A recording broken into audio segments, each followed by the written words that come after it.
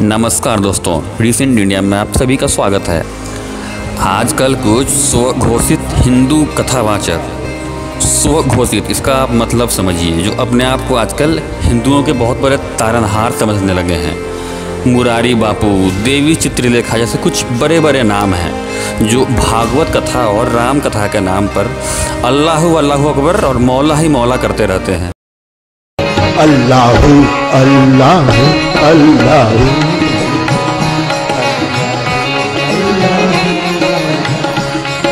कहाँ नमामि शमीशान उन हिसाब से अगर भागवत कथा चल रही है तो बीच में अगर अजान की आवाज़ आ जाए तो हमें अपनी कथा को रोक देनी चाहिए। जिस समय नमाज़ पढ़ी जाए तो हम भी प्रयास करें कि अपनी भागवत बंद करके पाँच मिनट के लिए उनके लिए हम अल्लाह को प्रणाम करें। क्या जाता है? क्या फ़र्क पड़ता है? अरे मैडम जी आपको भागवत का प्रचार प्रसार करने के लिए बुलाया जाता है नमाज़ का प्रचार करने के लिए नहीं।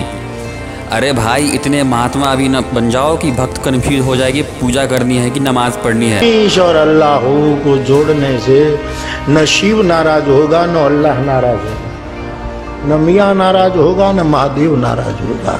नाराज़ होंगे बीच वाले। ज़रूरी है शास्त्र संशोधन। आप बात करते हैं शास्त्रों में परिवर्तन करने की। आपकी औकात क्या है जो आप शास्त्रों में परिवर्तन करेंगे? हमें, हमारे शास्त्र अपने असली स्वरूप में ही पसंद हैं।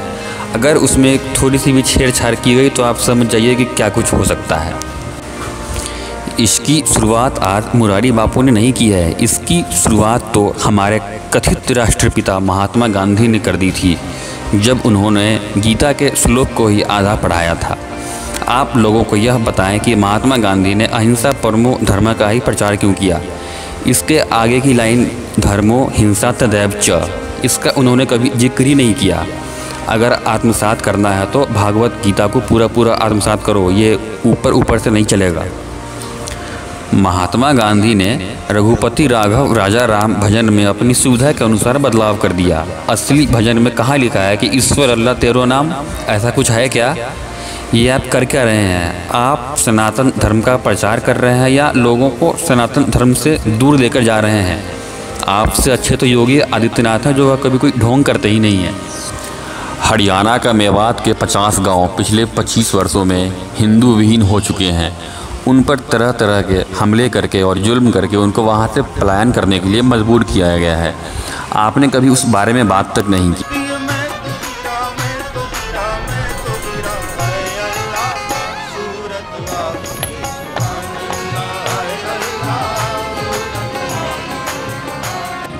अगर आप में ताकत है तो किसी मुस्लिम धर्म गुरु की सभा में जय श्री राम के नारे लगवा कर दिखा दें।